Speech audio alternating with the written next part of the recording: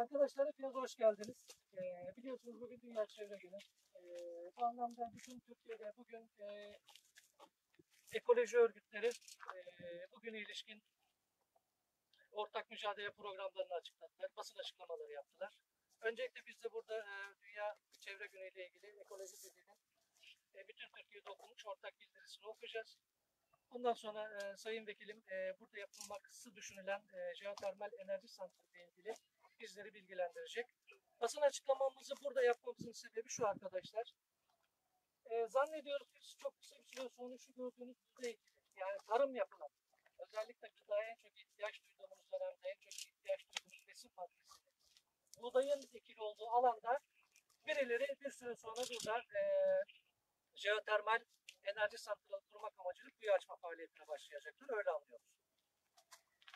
Bu anlamda e, yapılmaya çalışılan jeotermal enerji santralinin ne kadar anlamsız, e, ne kadar e, çevreye zararlı olabileceğini görmek, anlamak açısından e, özellikle basın açıklamasını burada yapmayı istedik. Ben şimdi sizlere e, ortak Dünya Çevre Günü ile ilgili e, ortak basın açıklayacağım. Yaşam alanlarımızın yok edilmesine karşı yaşasın birleşik ekoloji mücadelemiz.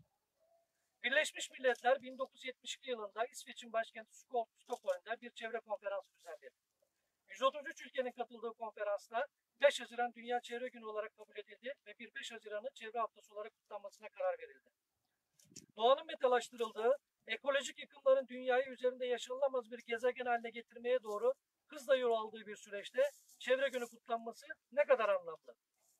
5 Haziran Dünya Çevre Günü biz yaşam savunucuları için doğa yıkım ve talanlarını dile getirme, yaşam savunucularını ortak mücadeleye davet etme ve ekolojik bir yaşamı savunma günü haline geldi.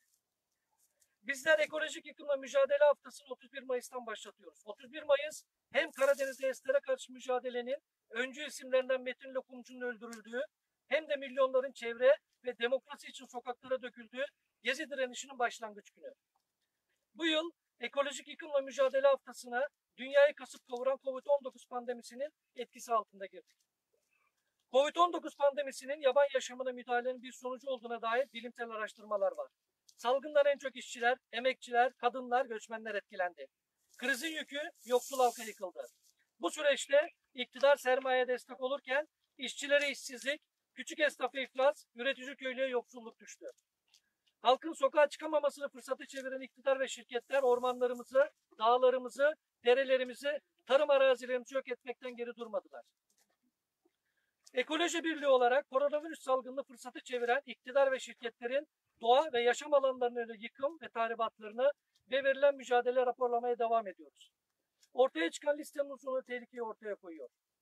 Termik santraller, kirli sanayi kuruluşları, altın metalik madencilik, HES'ler, JES'ler, RES'ler, çarpık kentleşme ve sanayileşme, endüstriyel tarım ve hayvancılık, katil mega projeler, duble yollar, balık çiftlikleri havamızı, suyumuzu ve toprağımızı denimizi kirletmekte, biyoçeşitliliği yok etmekte, iklim ve gıda krizine, sağlık sorunlarına ve erken ölümlere yol açmaktadır.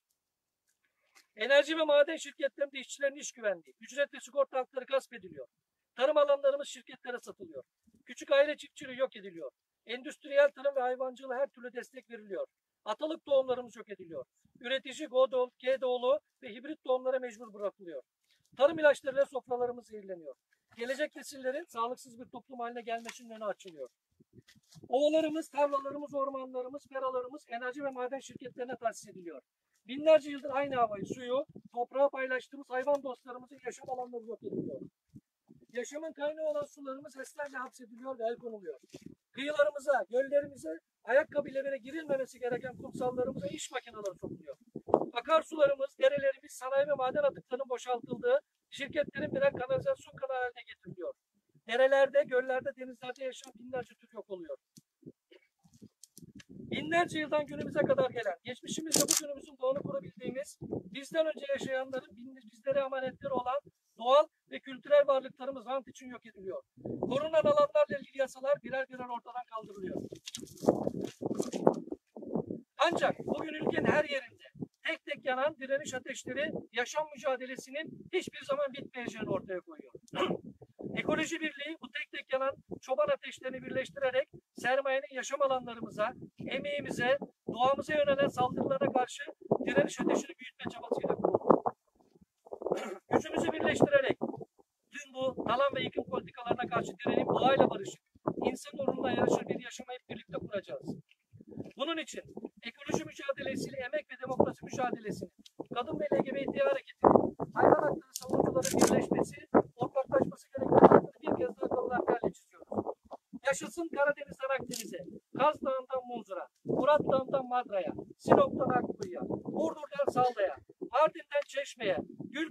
Aydın'a, Hasankeyf'ten Aloni'ye, Karaburun'dan Trakya'ya, Otlu'ya kadar ülkenin her yerinden, her yanından tüm doğal ve kültürel varlıklarımızın alan ve yağ malına dönüştürülmesine karşı verdiğimiz ekoloji mücadelemiz. Bu mücadele sırasında öldürülen tüm yaşam savunucularına bir kez daha minnet anıyor, önlerine saygıyla eğiliyoruz. Birlik, mücadele, yaşam, ekoloji.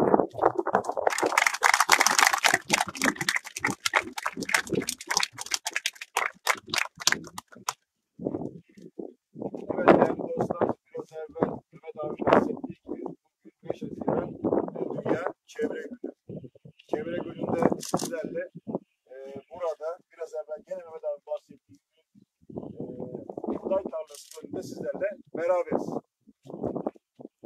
Pandemiyle karşı karşıyayız. Bütün hayatımızı etkiledi. Şu an burada az sayıda insanla olmak durumundayız pandemiden dolayı ve sosyal mesafemizi korumak durumundayız her şeyi etkilediği gibi dünyada bazı kavramların da tartışılmaya başlandığı bir dönemdeyiz. Bu pandemi, bu salgın bize tarımı bir kere daha ele almamız gerektiğini, çevreyi bir kere daha ele almayı gerektiğini, ele, ele almamız gerektiğini, ekoloji kavramının üzerinde daha fazla düşünmemiz gerektiğini ortaya koydu.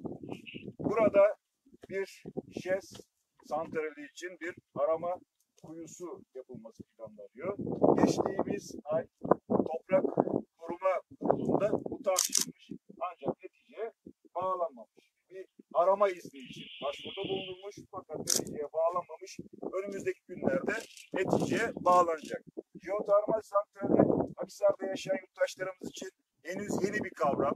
Ancak Manisa'da son 10 yıldan beri Alaşehir'de, Salihli'de ve Sarıgöl'de oradaki insanların hayatlarını olumsuz derecede etkilemeye başlayan, yarın öbür gün eğer Akhisar'da yaşayan yurttaşlar olarak bizler eğer bu jeotermale gerekli tepkiyi vermezsek bizlerin de yaşayacağı hayatımızda bir takım olumsuzluklar, olumsuzluklar olacak. Bunu nereden biliyorum? Çünkü Sarıgöl'deki, Alaşehir'deki, Salih'teki hatta Türkiye'deki en büyük jeotermal tesislerinin bulunduğu Aydın'daki deneyimlerimden, gözlemlerimden biliyorum. Şimdi bu jeotermal genellikle temiz enerji diye biliniyor. Bize temiz enerji diye lanse ediliyor. Fakat anladığım kadarıyla bir kere uygulamalarının yanlış uygulamalardan az zamanda fazla para kazanma hırsında ve jeotermal sisteminin bizzat kendisinden kaynaklanan ciddi sıkıntılar var bize şu söyleniyor.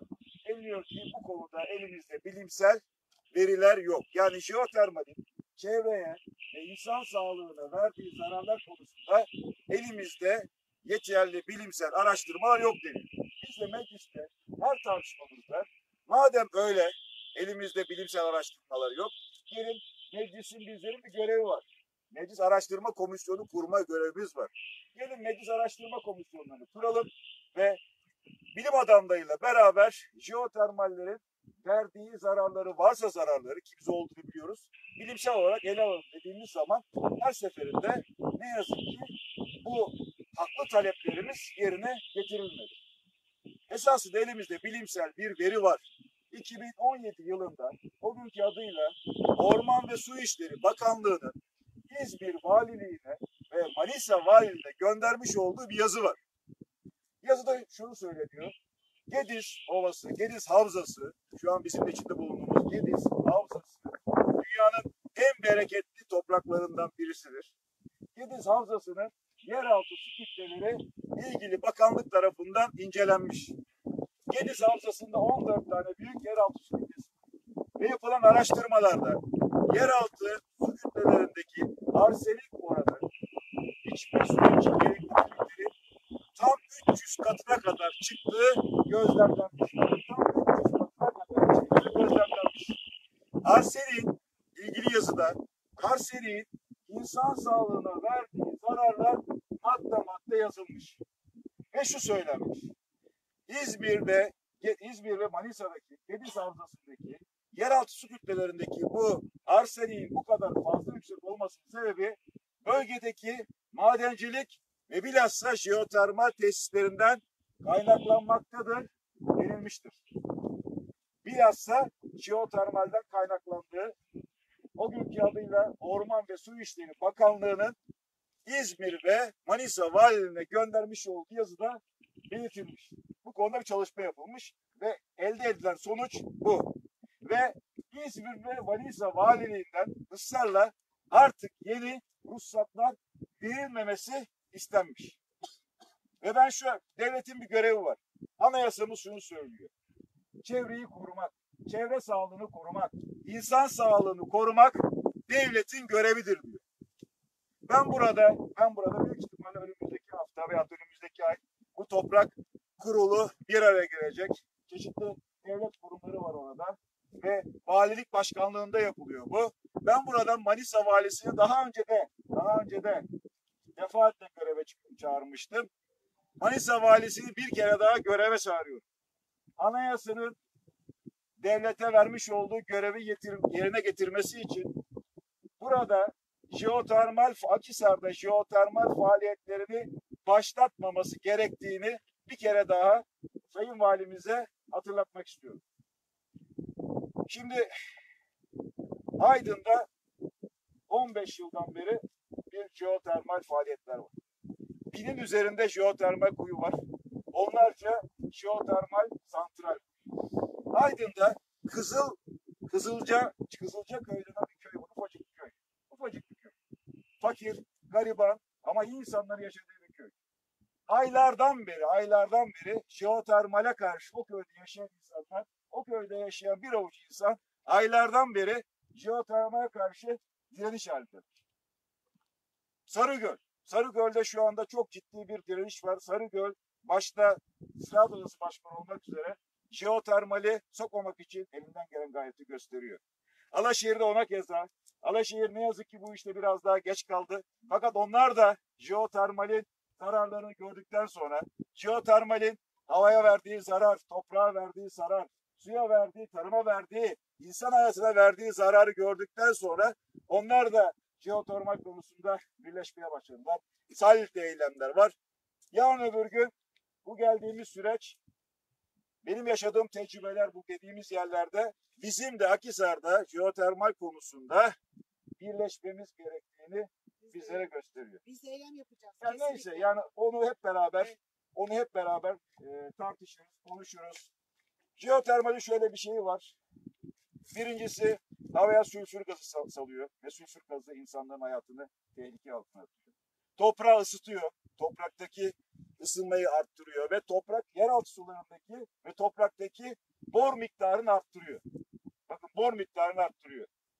Normalde bir suyun tarımsal su olarak kullanılması için 1 ppm olması gereken bor oranı bunu biz Alaşehir'de gözlemledik. Elimizde raporlar var. Zaman içerisinde 5 ppm'e 10 ppm'e kadar çıkmış. Ve Alaşehir'de şu anda birçok kuyu ve e, sulama kooperatifinin kuyuları bor oranının artmasından dolayı jeotermal faaliyetlerden dolayı kapatılmış durumda. Alaşehir'deki insanlar ki Alaşehir dünyanın en bereketli topraklarına sahiptir. Üzümün başkenti diyebileceğimiz bir yerdir. Alaşehir'deki insanlar yavaş yavaş tarımdan uzaklaşmaya başladılar. Bakın burası da burası da bir tarım arazisi burası. da. Yani Akhisar'ın hemen çeperinde burada 500 metre ileride konutları var. Şu nasıl? Yani onlar da alırlar Akhisar'ı biliyorlar. Yani yak- yaklaşık 500 metre ileride konutlar bulunmakta. Birincisi tarım arazisi üzerinde ve insan yaşamının insan yaşamıyla bu kadar yakın olan bir yerde deneme amaçlı bile ol- olsa biz burada jeotermal kuyusu kazılmasına karşıyız. Bilimsel olarak bir gerçek de var. Jeotermal santraller, jeotermal kuyular bunlar binlerce metre aşağı inecekler. Ve 200 derece, 300 derece sıcaklığındaki eriyikleri dünyaya çıkartacaklar. Ve bilinen bir gerçek şu, bu jeotermal kuyuları depremi tetikliyor. Depreme sebep olabiliyor. Bu artık bilinen bir gerçek. Akhisar'da geçtiğimiz günlerde kışın 4000 üzerinde deprem yaşadığımız düşünürsek, Akhisar'ın çevresinde iki tane önemli fay hattı olduğunu, aktif fay hattı olduğunu düşünürsek ve burada yapılacak olan jeotermal faaliyetinin depremleri sebep verebileceği ve tetikleyebileceği de göz önünde bulundurulması lazım. Yani nereden bakarsanız bakın Akhisar'ı jeotermalle tanışırsa e, ne yazık ki kötü günler geçir- geçireceğimizi düşünüyorum. Bu konuda hep beraber hareket etmemiz lazım. Daha önce Alaşehir bu konuda çok geç kalmış. Biz Aydın bu konuda çok geç kalmış. Biz onların yaşadıklarından, tecrübelerinden dersler çıkartmamız lazım, tecrübeler çıkartmamız lazım. E, ve bir kere daha söylüyorum. Manisa valisinin elinde ve İzmir valisinin elinde 2017 tarihli 2017'nin 8. ayın tarihli bir rapor var. O raporda deniyor ki bundan sonra İzmir'de ve Manisa'da yeni jeotermal ruhsatlarına izin vermeyin diyor. Ve Türkiye Cumhuriyeti Anayasası her ne kadar dün anayasada ihlal edildiğini bizzat yaşamış olsak da ama bir anayasamız var ve herkes ona uymak zorunda. Türkiye Cumhuriyeti valisi de ona uymak zorunda. Anayasamız şunu söylüyor. Çevre, insan sağlığı ve çevre sağlığını korumak, onunla ilgili düzenlemeleri yapmak devletin görevidir. Biz de ve aynı zamanda yurttaşların da görevidir. Biz yurttaşlık görevimizi yerine getirmek için bugün buradayız. Devleti de, validi de görevini yerine getirmeye davet ediyoruz. Teşekkür ederim.